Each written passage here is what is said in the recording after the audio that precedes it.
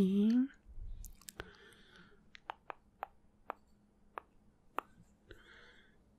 aquí. Bien. Ya he terminado de revisar todo tu rostro. Así que siéntate y te voy contando qué cirugías creo que necesitas. Bueno, primero estoy segura que necesitas una blefaroplastia. Esa tenemos que hacerla. No sabes qué es, no te preocupes, estoy aquí para ayudarte, para guiarte y para mm, responder todas tus dudas. Bien, la blefaroplastia es la cirugía de párpados, la que conoce todo el mundo. Lo que hace es brindarnos una mirada más juvenil, una mirada más fresca. Lo que hacemos es extraer la grasa y el exceso de piel y músculo que tenemos acá en los párpados. Yo, por ejemplo, me la tengo que hacer próximamente, pero es que como yo soy la mejor, no me puedo operar, entonces es muy complicado para mí dejarme hacer cirugías porque soy la mejor, entonces me toca analizar muy bien quién podría hacérmela, pero tú estás en las mejores manos, no te preocupes. Lo que hacemos es corregir la separación aquí de los párpados. Sí, de la parte superior y quitar el embolsamiento del párpado en la parte inferior. Lo que pasa es que todas estas cosas van a hacer que tus ojos luzcan cansados y llegado un punto puede interferir en tu visión. Entonces es mejor que actuemos antes de que ocurran estas cosas y mm, lo arreglemos, lo solucionemos de raíz. No, este procedimiento no te va a eliminar las arrugas, solamente separamos estos párpados y quitamos las bolsas que tienes bajo los ojos, que por lo que veo los tienes desde siempre. Sí, eso se nota. No te levanta las cejas, esa sería otra operación, pero realmente siento que tú no la necesitas. Tampoco te quita los círculos negros que llaman ojeras bajo los ojos. Sin embargo, tú tienes muy pocas. Tampoco creo que necesites eso aún. Si esta la podemos hacer junto con otros procedimientos de el rostro y no nos pasa nada. Es más, sería bueno que ya que estamos haciendo algunos procedimientos, pues la hagamos de una vez y salimos de eso en una sola cirugía. Esta operación dura más o menos cuatro horas. Tiene una recuperación de 6 a 12 días según la persona. Todos somos diferentes y necesitamos anestesia local y sedación. Ok, voy a continuar y tú vas pensando. Para la cara me encantaría hacerte un lifting facial. Lo que vamos a hacer principalmente con esta cirugía es combatir el envejecimiento. Aquí sí, con esta podemos eliminar arrugas y podemos eliminar imperfecciones de la piel. Lo que hacemos es un estiramiento de la piel, de la cara y del cuello. No, esto es mínimamente invasivo. En serio que no hay ningún problema con eso. Lo hacemos con anestesia general, pero no necesitamos ingreso hospitalario. Si nosotros tenemos nuestros propios anestesiólogos, por supuesto. Tenemos todo lo necesario por si surge alguna complicación. Nunca nos ha pasado, pero estamos completamente preparados para cualquier emergencia. Pues el lifting facial es uno de los mejores procedimientos que los pacientes pueden encontrar actualmente para combatir el envejecimiento. Sí, es recomendadísimo. Lo que pasa es que tú ya tienes arrugas muy profundas acá en la frente, aquí y así. Y ya tienes arrugas acá alrededor de la boca. Entonces con el lifting las eliminamos completamente de una vez. Sí. Con el botox se llevaría un poco más de tiempo porque tus arrugas ya están muy profundas. También creo que podríamos comenzar con ácido hialurónico. Esta es una sustancia en gel que se pone directamente en la piel mediante unas microinyecciones. En serio, la aguja es mínima, ni la ves. Nosotros tenemos ácido hialurónico naturalmente, pero este se va perdiendo. Entonces, lo que hacemos es inyectar la sustancia para reponer la que hemos perdido durante los años. Ese yo lo usaría en el mentón y en la nariz. Si pómulos y labios no creo que necesites por ahora. Solo mentón y nariz. Nos fijaríamos solo en eso. Lo que pasa es que cuando lo perdemos, la piel también pierde tersura y también se ve flácida. Entonces, lo que hacemos con eso es recuperarlo y que se vea uno mucho más joven y que la piel no se vea tan caída. Con las inyecciones, yo lo que haría sería moldear tu contorno facial. Y la piel te va a quedar muy, muy hidratada. Tenlo por seguro, te va a encantar el resultado.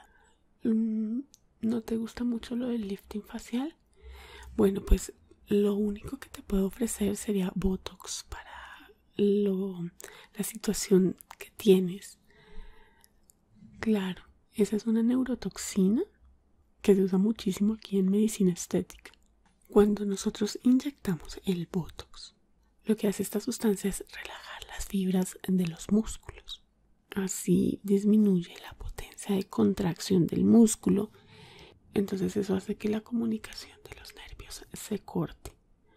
Y lo que hace es generar un tipo de parálisis facial. Pero no te preocupes porque eso es mínimo.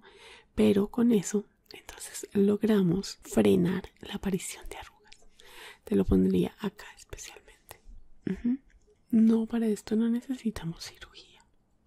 Simplemente acá en el consultorio te llevo a donde lo aplicamos y te pongo unas inyecciones que realmente no te van a doler absolutamente nada. Y el resultado es fantástico. No, mira, los efectos son inmediatos, eso es lo bueno. Y muy rara vez tienes efectos secundarios. Eso es muy extraño. Muy pocas veces sucede. Así que no te preocupes por eso. No, esto no es permanente. Tú tienes que mm, aplicártelo varias veces y su duración es entre 4 y 6 meses. Así es. Cuando pasan los 6 meses, tú tienes que esperar 3 meses para volverte a aplicar el tratamiento. Sin embargo, tengo que decirte como profesional que hay personas a los que no les dura los seis meses, sino puede durarles solo dos meses. Y es bueno que lo sepas para evitar inconvenientes. Así es.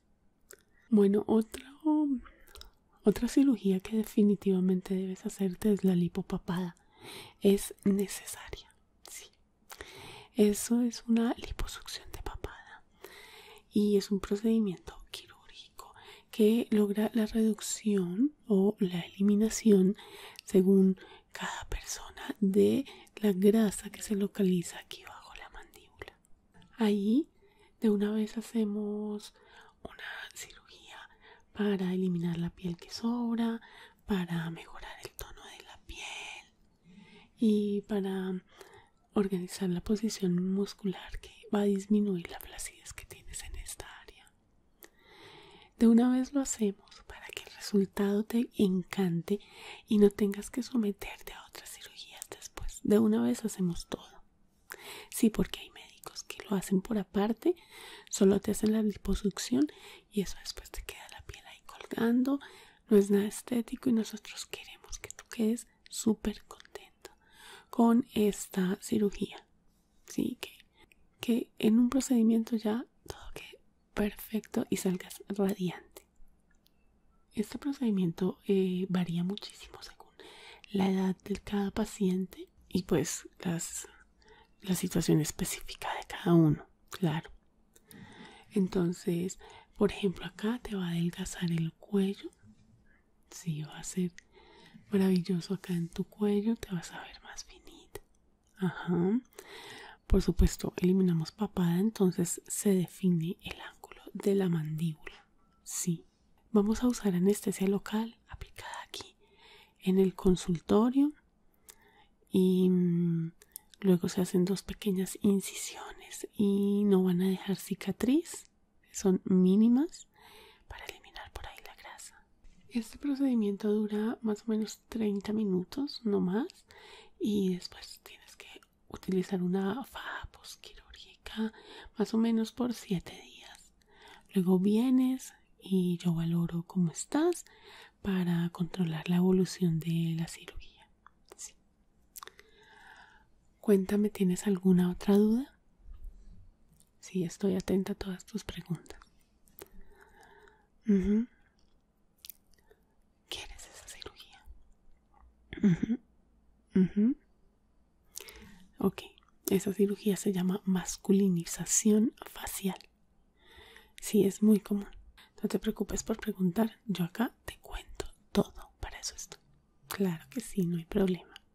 Esa cirugía realmente es una serie de procedimientos y de técnicas que están enfocadas en resaltar y potenciar los rasgos que se asocian con la masculinidad. Así es. El objetivo principal es conseguir una mandíbula más marcada, unas facciones angulosas, lo que va a hacer que los pómulos se resalten. Sí, vas a lograr tener un mentón perfecto. Sí, claro, lo que pasa es que tu rostro es redondo. Entonces lo que hacemos es generar ángulos, porque los ángulos cuadrados con ángulos se asocian con la masculinidad, mientras que la redondez se asocia con la feminidad actualmente. Sí, por lo menos en nuestra sociedad, porque esta, em, esta cirugía cambia según el lugar donde te la hagas, porque la masculinización depende mucho de em, la sociedad que actualmente está en el lugar donde te vayan a hacer la cirugía. Los cánones de belleza cambian según el sitio y según la época también, supuesto. Entonces aquí lo que haríamos sería generar ángulos para que tu cara se vea más cuadrada y ya no sea tan redonda, que es lo que la hace ver femenina. Sí, ahí trabajamos pómulo, mentón y mandíbula. Aquí tendríamos que realizarte un implante de pómulos, eso obviamente se hace por medio de una cirugía. Y lo que hacemos es insertar unas prótesis de silicona. Hay muchos otros materiales, a nosotros nos ha funcionado mucho mejor. La silicona dura más, eh, los efectos se ven antes de tiempo, así que nos gusta ese producto. Así algunas personas se hacen infiltraciones para rellenar, pero se demora más, pero los efectos secundarios son más probables, así que nosotros preferimos de una vez con cirugía poner estas prótesis y ya. En la mandíbula lo que te hacemos son Para esto podemos usar ácido hialurónico o hidroxiapatita cálcica. Sí, la idea es hacer el mentón prominente. Claro, para que no se vea tan redondo el rostro como te venía diciendo y no se vea así tan femenino. Esta cirugía se llama mentoplastia. Sí, la que habías averiguado es mentoplastia. Le damos con esta un nuevo contorno a la barbilla. Nosotros ponemos de nuevo prótesis porque hay otras personas que hacen infiltraciones, pero es lo mismo que acá en los pómulos. Para nosotros es más rápido hacerlo todo con la prótesis y vemos menos efectos secundarios. Bien, pues ya entonces tú con esta información puedes tomar una decisión pensándolo calma en tu casa. Te voy a invitar a que vayas donde mi secretaria. Ella tiene ahí toda la información que yo te acabo de dar. Te lo va a dar en unos folletos y además te va a dar los costos de cada una de las cirugías, de cada uno de los procedimientos, para que tú tomes tu decisión. Sabemos que no lo vas a hacer en este momento, pero nos gustaría muchísimo estar presentes en tu cambio facial y ver grandes resultados, yo te operaría personalmente. Antes de las operaciones conocerías a todo el equipo que va estar allí. Obviamente vas a venir con uno o dos acompañantes, no tenemos ningún problema y espero verte pronto por este consultorio. Muchísimas gracias por haber venido. Ha sido un placer conocerte y nos vemos espero que muy pronto. Que estés muy bien. Hasta luego.